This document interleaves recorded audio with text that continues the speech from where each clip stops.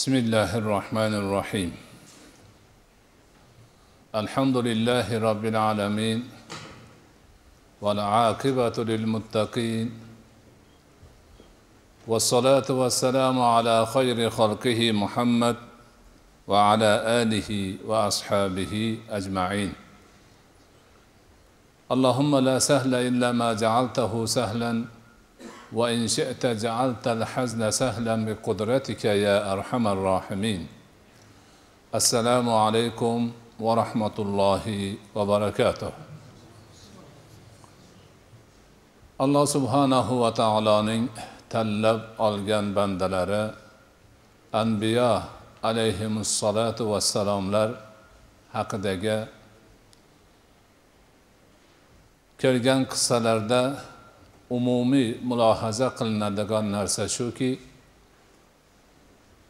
nabiylar o'zlariga ergashgan mo'min bandalar bilan birga yer yuzida allohga bo'lgan iymonni qaror topishi uchun alloh subhanahu va taoloning yolg'iz o'ziga ibodat qilinishi uchun yer yuzida adolat hukm surishi uchun zulm yo'qolishi shirk yo'qolishi iymonsizlik yo'qolishi barcha yomonlik va beadoblar yo'qolishi uchun harakatda bo'ladilar. Har xil kuchlar har xil qarshi taraflar aksincha ish yuritadilar lekin oxir oqibat kelib alloh o'z nabiylariga va mo'min bandalariga nusrat beradi. Kufr zulm istibdod yomonliklar mag'lubiyatga uchraydi. Mana shu holat nuh alayhissalomning o'z qavmlari bilan bo'lgan qissalarida ham yorqin ko'zga tashlandi o'rganildi bilindi.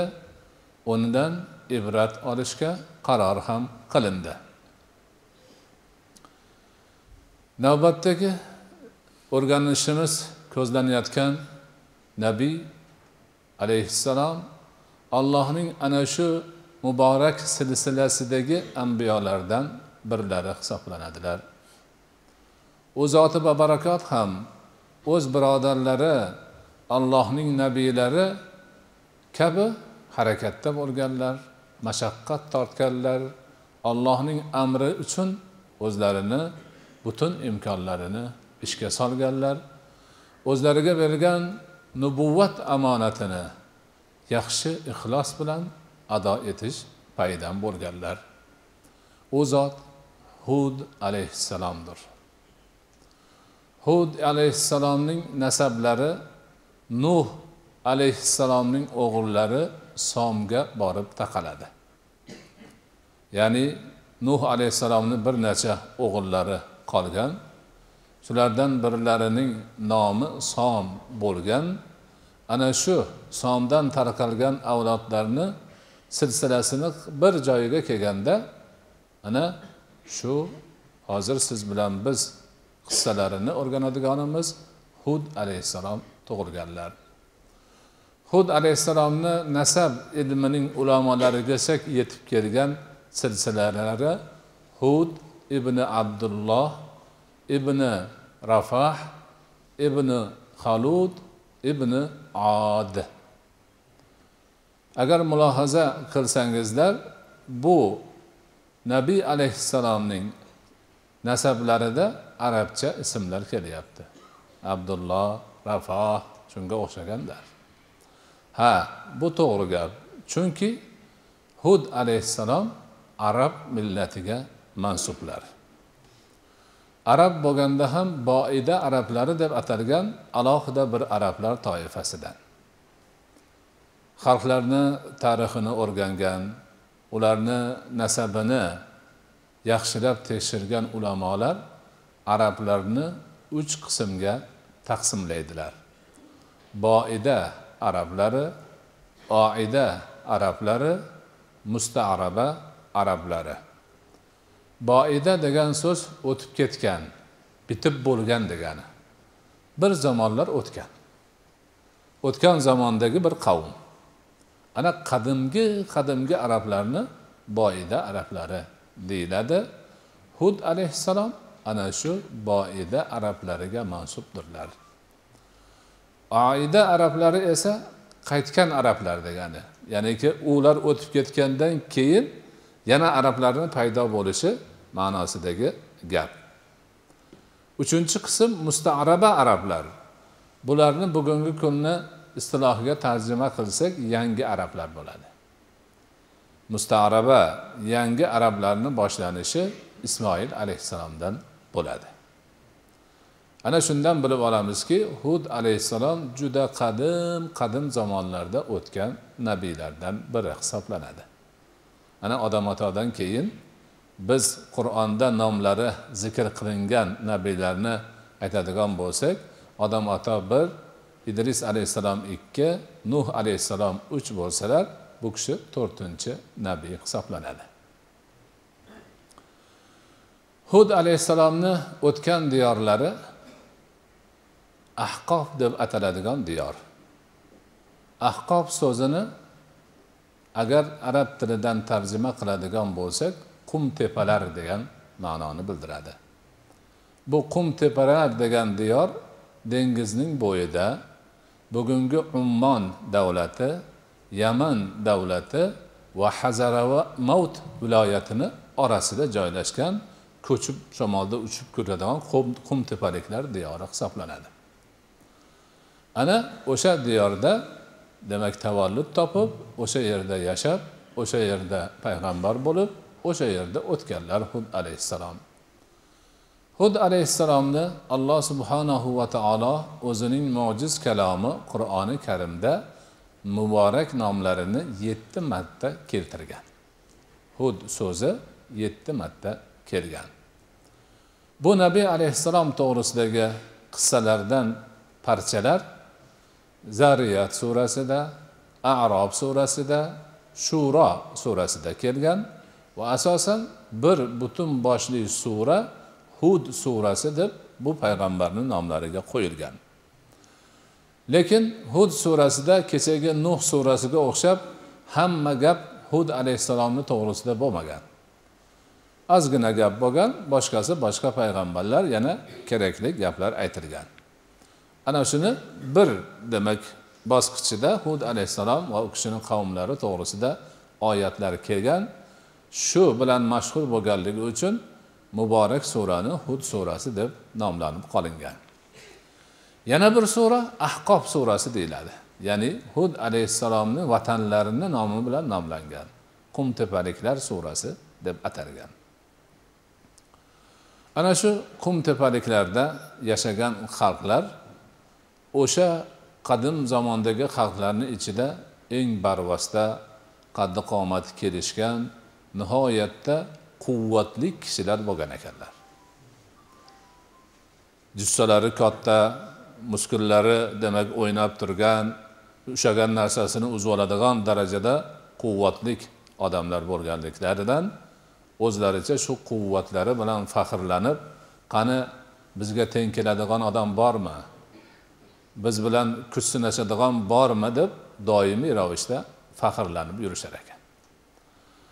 Ana shu quvvatiga ishonish quvvatni bu dunyodagi insonni qadrini o'lchaydigan eng katta o'lchov degan adashish bularni boshiga balo bo'lgan. Ularni jussalari katta bo'lsa ham fahmlari kichkina bo'lgan. Aqllari past bo'lgan. Shuning uchun jismoniy quvvatni dunyoni obod bo'lishiyu insonni qadr qiymatini o'lchovi deb tushunishib qolishgan. Ana mana shu ishonchlari mana shu demak noto'g'ri tasavvurlari ularni o'zini boshiga balo bo'lgan. Noto'g'ri ibodatda bo'lganlar shirkka yurganlar va qiladigan ishlari quvvatini ishlatib boshqalarga zulm o'tkazish bo'lgan. Shuning uchun ham hud alayhissalom ular bilan tortishayotgan paytlarida ularni xatolarini aytayotganlarida va batashtum iza batashtum shadidan. Ya'niki agar sizlar bir narsani ushlaydigan birovni tutadigan bo'lsanglar qattiq tutgansizlar ya'niki odamlarga zulm o'tkazdisizlar degan ma'noni aytganlar. Ana alloh subhanahu va taolo ana shunday sarkash qo'pol birovni gapiga kirmaydigan qavmni hidoyatga solish uchun hud alayhissalomni ularga nabiy qilib yubordi. Va ila adin ahohum hudan deydi alloh taolo. Ya'ni biz od qabilasiga ularning o'zlaridan bo'lgan aka ukalaridan biri bo'lgan hudni nabiy qilib yubordik. Demak qabila qabila. Hud alayhissalomni to'rtinchi katta bobolari odni nomi bilan atalgan. Od demak hud alayhissalomni to'rtinchi bobolari. Od qavmi ham ikkiga taqsimlanadi. Birinchi od ikkinchi od. Hud alayhissalom va u kishini davridagi qabilaning a'zolari birinchi odga tegishlik qadimgi odamlardan hisoblanadi. Ana demak haligindek sifatga ega bo'lgan qavmga alloh taolo hud alayhissalomni nabiy qilib yubordi. U kishi kelib o'z birodarlari nabiylar o'z qavmlariga aytgan gapni aytdilar. Nima dedilar? Abudulloh allohga ibodat qilinglar. Lakum min ilahin g'ayruh ollohdan boshqa sizlarga iloh yo'q. Bitta iloh bor shunga ibodat qilinglar dedilar. O'tgan safarga payg'ambar nuh alayhissalom ham xuddi shu gapni aytgan edilar. Man payg'ambarman allohga ibodat qilinglar. Laallakum tattaqun deyapti. Bular u kishi ittaquhu degan edilar. Unga taqvo qilinglar. Bunda yerda shoyatki taqvo qilsalaringiz deyilyapti bir biriga o'xshash gap. Har bir nabiy o'z qavmiga kelganda avval aytadigan gapi allohga ibodat qilinglar. Ya'ni ollohning aytganida yuringlar qaytganidan qaytarganidan qaytinglar. Ho'p o'sha qavm payg'ambarlari hud alayhissalomni ularni o'ziga yaxshi bo'ladigan bu dunyo va oxiratlariga foyda keltiradigan asosiy chaqiriq allohga ibodat qilish chaqirig'iga nima deb javob berdilar? Inna naraka fi safahatin dedilar. Hoy hud san nima deyapsan? Biz sani pastlardan ko'ryapmiz. Va biz sani zalolatdagilardan deb bilyapmiz deyishdi. Oldingilar nuh alayhissalomga bunaqaroq gapni aytishmagan edi. Adashyapsan deyishgan edi. Bular endi esi pastsan deyapti. Nobokorlikni qaranglar. Betamizlikni qaranglar. Ollohga da'vat qilib ollohga ibodat qil degan nabiyni esi pastsan deyapti. Esing yo'q odam ekansan deyapti. Adashgan zalolatdagi odam ekansan deyishyapti. Hud alayhissalom sabr bilan yana da'vatni davom ettirdilar. Ularga olloh bergan ne'matlarni eslatdilar nuh alayhissalomga o'xshab.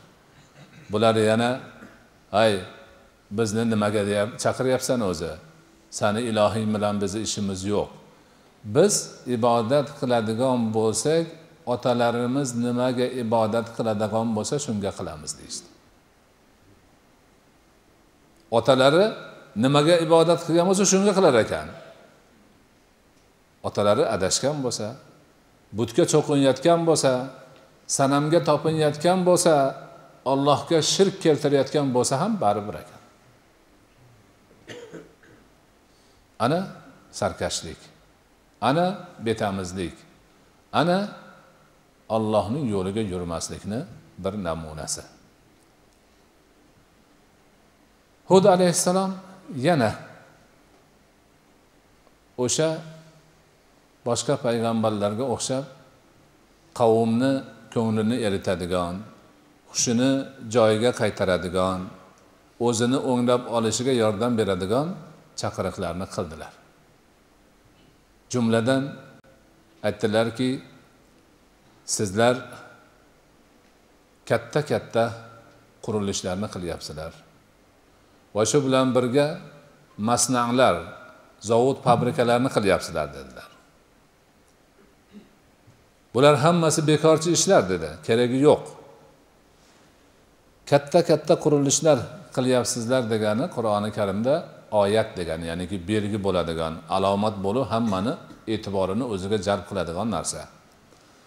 Ular kerak bo'lmasa ham odamlar ko'rsin o'tgan ketgan bilsin bizni kuchi ko'p ekan zo'r ekan desin deb baland baland joyga qasr qurishar ekan. O'zi keragi yo'q. Lekin o'sha balandga qasr qilib hamma yoqqa ko'rsatib yaltirab tursa gurkirab tursa oho bular kuchli ekan u shuncha narsani qurib yuboribdiya desin degan ma'noda qilishar ekan. Masna degani masna degani hozirgi arablarni tilida biz zavod fabrika degan narsani ya'niki bir narsaga ishlab chiqarish vositalarini tayyorlaydigan narsalarni aytiladi. Shunga tafsirchilarimiz aytadiki bular o'sha hamma yoqqa qasr quraverib katta bino quraverib bino qurish bo'yicha asbob uskanaga muhtoj bo'lgan. Shuning uchun o'sha masnalari zavod fabrikalari ana shuni binoni quradigan texnikani o'shanga ishlatiladigan asbob uskunalarni alohida ishlab chiqadigan zavod fabrikalari bo'lgan bularni. Chunki xayollari haligi tarafga ketib qolgan. Shunimiz ko'p bo'lsa hamma bizni ko'rganda titrab tursa o buncha narsani qurib olganga teng kelmaydi hech kim deydigan bo'lsa xayollari shu yoqqa ketib qolgan. U ham bo'lmadi.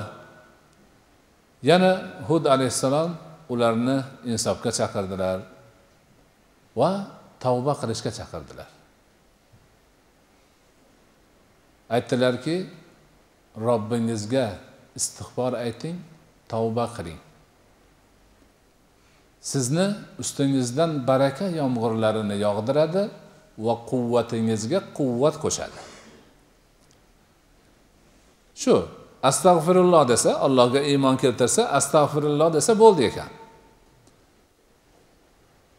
Baraka yomg'irlarini yog'dirib qo'yar ekan olloh ham quvvatiga quvvat qo'shar ekan. O'zi ular quvvat jinnisi bo'lib yuribdi. Shu quvvati bilan faxrlanyapti. Ana yana yana undan ham kuchli qilib qo'yar ekan. Bu yog'i yomg'irni barakali qilib yog'dirib qo'yar ekan. Nima uchun? Hud alayhissalom haligi qavmga ustingizdan baraka yomg'irini yog'diradi dedilar deydigan bo'linsa o'sha paytda mazkur diyor ahqofda qurg'oqchilik bo'lgan ekan. Qurg'oqchilik bo'lganda ham nihoyatda qattiq bo'lgan ekan. Havo shunday isigan ekanki havoni o'zi tannurga aylanib qolgan ekan. Ya'ni hamma narsani kuydirib yuboradigan tarzdagi qattiq qurg'oqchilik issiq bo'lgan ekan. Odatda bunaqa baloga uchragan banda har qanday nobakor bo'lsa ham olloh deyishi kerak. Quvvati ish bermay qoldi qasrlari ish bermay qoldi hamma yoq yonib ketyapti. Boshqa iloji yo'q halok bo'lyapti hayvonlari o'simliklari o'zlari yo olloh deyishi kerak. Agar odamiki bo'lsa ozgina odamgarchiligini tutib qolgan bo'lsa shuni qilish kerak. Lekin ollohni nabiysi kelib aytib tursa ham yana unashmayaptida. Unashmadi ko'nishmadi. Agar istig'for aytsangiz ustingizdan baraka yomg'irini olloh yog'dirib qo'yadi quvvatingizga quvvat qo'shadi desa ham yo'q deyishdi. San espassan bunaqa gaplarni aytishingdan bizni xudolarimiz sani urib qo'ydi shekilli deyishdi.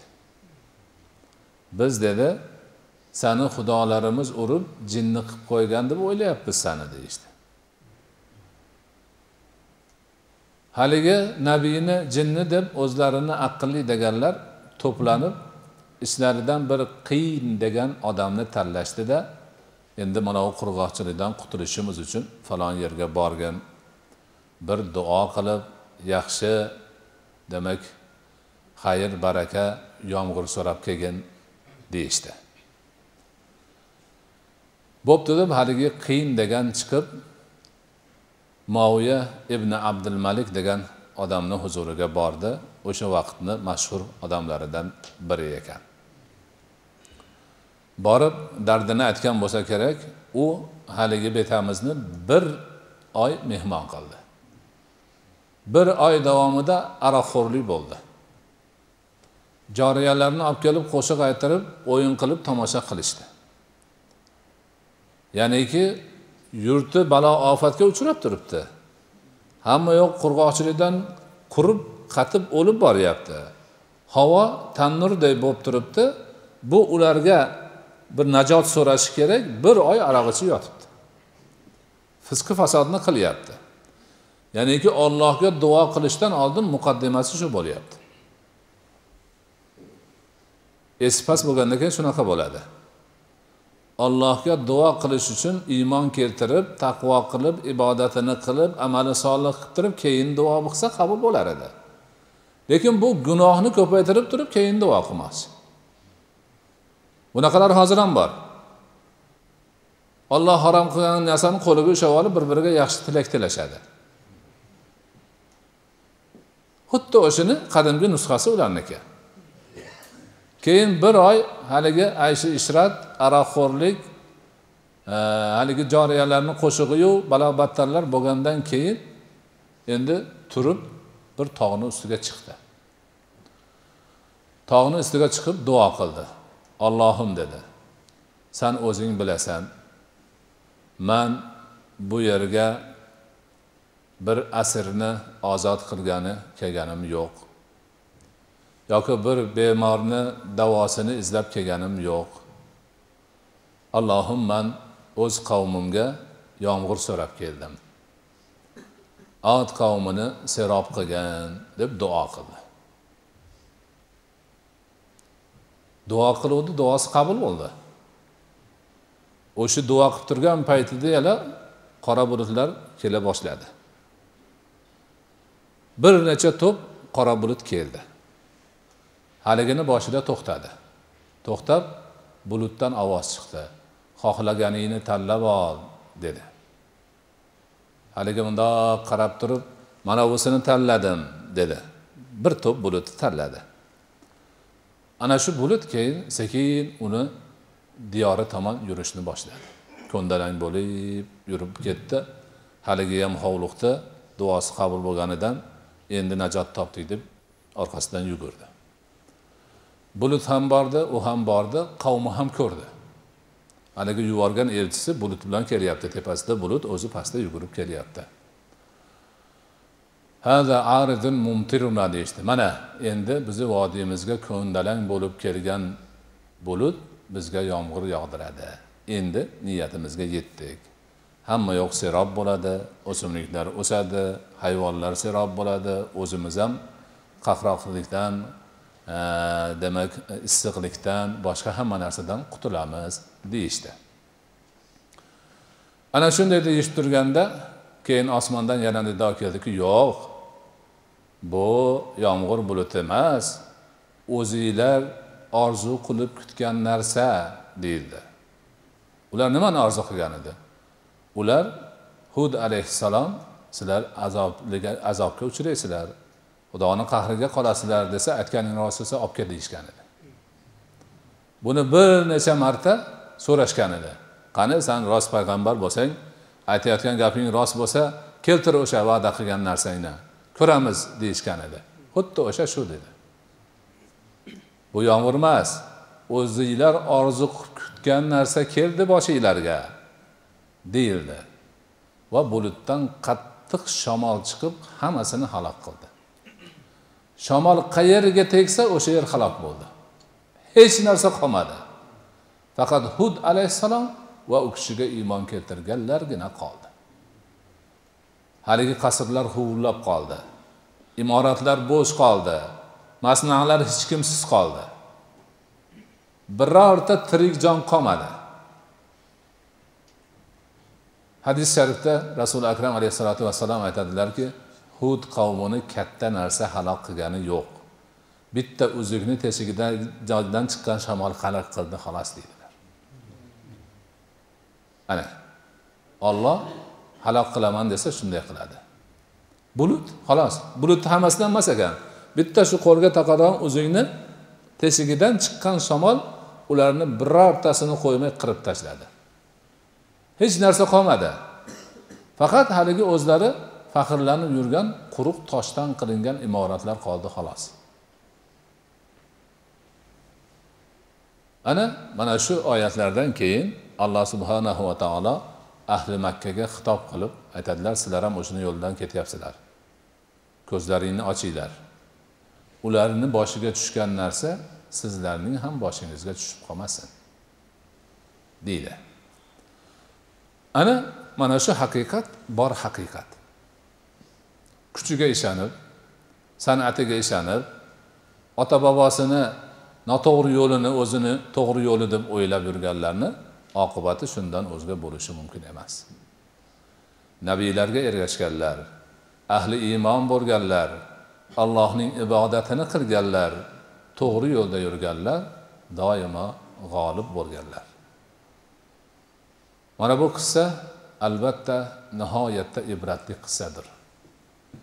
Buni eshitganda bilganda qur'on o'qib turganda o'tganda doim demak ibrat olish.